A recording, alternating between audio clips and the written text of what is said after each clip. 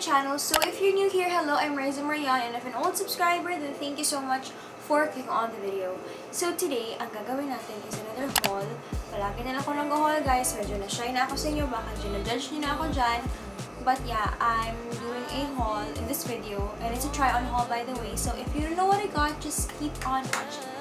And by the way guys, all the things that I bought is from Lazada and from Shopee. And actually, hindi talaga ako ma-Shopee na shopper, but I tried to buy from Shopee and I kind of like the results. So, let's head on to the haul. So guys, the first thing I got is actually a shorts. Because yung mga shorts ko kasi andun pa sa Cebu and wala na talaga akong shorts dito sa bahay namin dito sa Mindanao. So, I bought some shorts. So, the first shorts is this one. And the color is just light, I mean dark blue. Just a denim shorts. And it's high-waisted, guys. So, yeah. And may nakalagay din dito na Pink Elegance, which is the brand that I think I got my pants from nung haul ko before. So, this is the logo of their um, brand. So, it, yung material niya is okay lang naman. Hindi naman siya pangit na material. Actually, okay nga siya for, um, I think, this range to 200, 100 to 200 pesos. So, just going to put the price on the screen. So, yun guys. Ito yung first na shorts. And I'm going also, I'm also going to be doing a try-on clip at every after the I show you guys the product itself. So, yeah, this is the first shorts. Together forever, never to part. I wanna be with you always.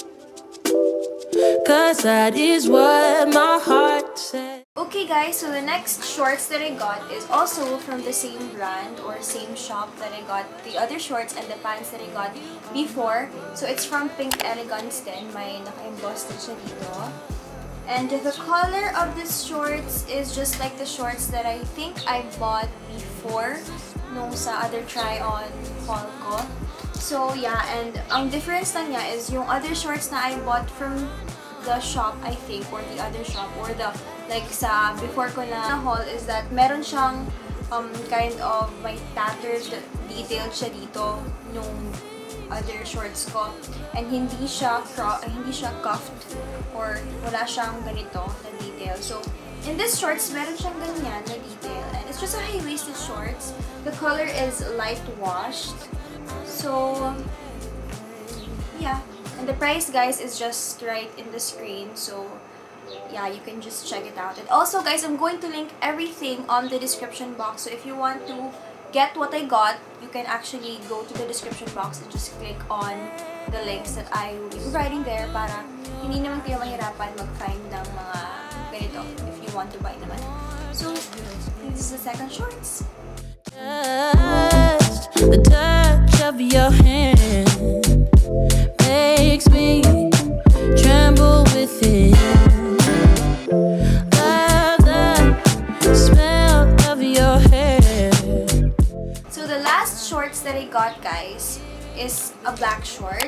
just the same. It's it's just from the same shop. I'm sorry if I'm stuttering. It's like early in the morning, so morning rain. so yeah, guys, this is from Pink Elegance again, and it's just a high-waisted shorts. And the sizing of this is actually um, hindi siya yung um, 34, 35, 26, hindi siya ganon. Parang naka-small, medium, large lang siya. So, if for reference, my size is medium. No, it's small pala. My size is small. So, if same tayo ng body structure then you can also get the small. And by the way, for reference guys, my waist is 25 to 26 and my hips is very wide. Not really that wide, but it's wide. So, yeah. And my paa or my legs is also not that small. So, just for reference, guys. So, this is the shorts. It's just a black shorts. Of my heart, together forever, never. So, guys, this is the last thing I bought from Shopee. So, what I said or what I showed you kanina is for all of them is from Shopee, yung shorts. So, the three shorts is from Shopee and this is also from Shopee, guys. So, it's just a denim jacket and yung color niya is um, light wash na color. Hindi naman siya super, super light na para na siyang yung shorts ko before because um, yung yung ang gusto ko lang talaga dun sa shorts na binili ko before, yung sa other haul ko, is that the color is very nice, it's very vibrant, and it's very light. So, I tried to find a denim jacket na pareha, parehos nung color ng shorts, but I didn't find one. So, I opted for this, and light naman siya na color, so gusto ko na rin siya. And also, it's from Pink Elegance. So if you wanna get your pants, your shorts, your denims sa Shopee or Lazada, you can actually go to Pink Elegance. I think that's the um, name of their shop kasi naka-emboss naman siya sa kanilang mga items. So maganda yung qualities ng kanilang mga denims, guys. For the price that we pay, okay naman din siya. So ito guys, crop lang siya na denim jacket. And you can actually unbutton this para you can show off um, what are you what you are wearing underneath. If nag-bra bralette lang kayo or nag-dress, you can actually like open this and then you can wear it as like this. So yeah. Smell of your hair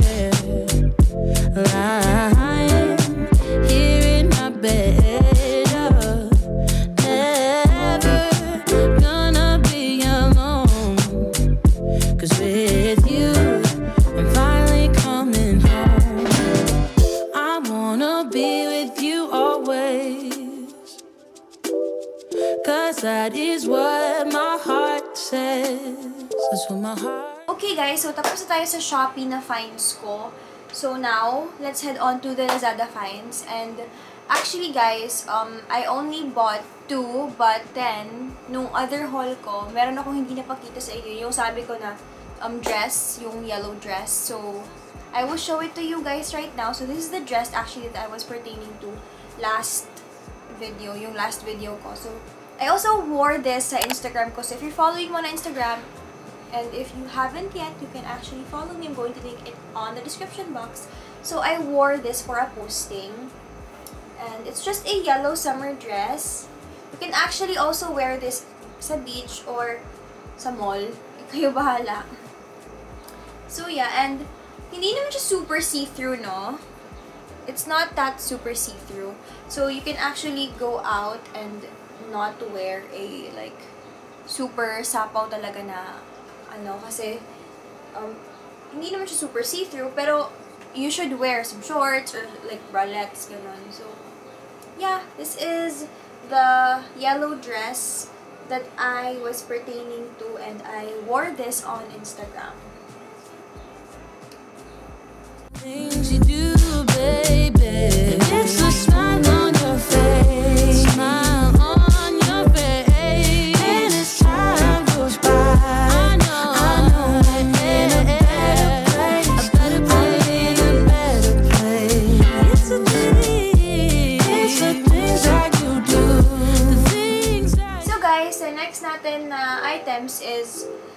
Last two actually because I wasn't really that um, confident buying so much stuff na kasi, you know, we're saving and yeah. So, this is the top that I got from actually the same shop that I was pertaining to naman din last video ko, yung sabi ko sa inyo na yung seller is very nice.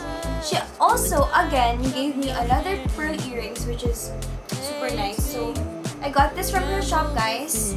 Nilink ko na lang yung links ng mga ganito, mga items ko sa description box. So, hindi na kayo mahirapan. This is the um, blouse, uh, top.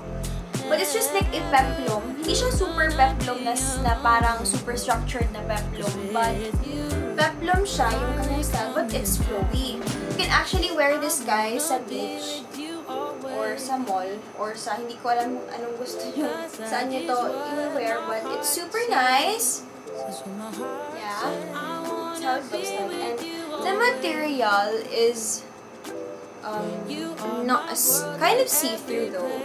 But yeah, it's cute. It's the things that you do.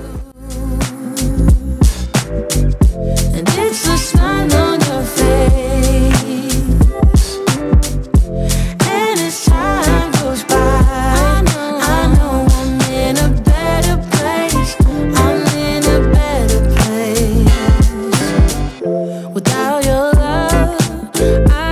Out of place.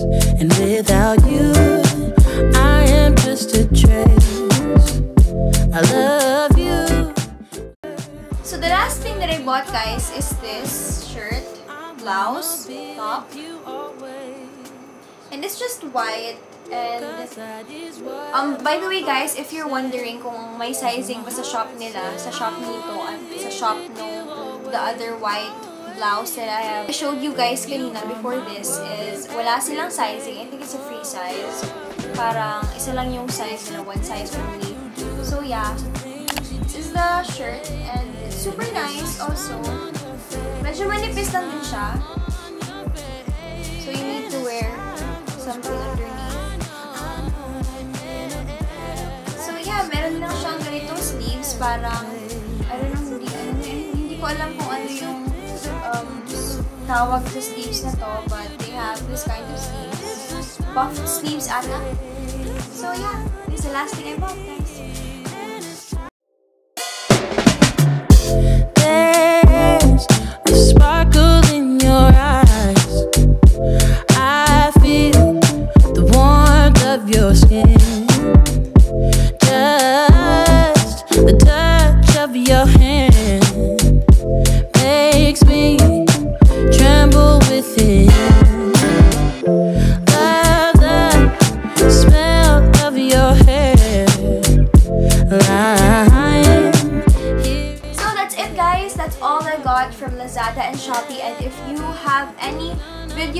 suggestions guys that you want me to do here on YouTube, you can actually comment down below and then I'm going to do it for you guys. Kasi hindi na talaga, wala na talaga akong urge at wala na talaga akong ideas kung anong gagawin ko sa videos ko here because of the pandemic and all. So it's kind of hard to actually like go out and stuff. So guys, feel free to comment whatever you want sa, bil- sa below.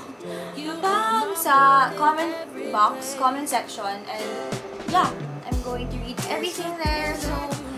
Lang guys. Pasensya na if lutang ako ngayon kasi I just woke up and early pa naman ngayon. I think the time right now is like 9, 10. So, ayun guys. Thank you so much for watching everybody.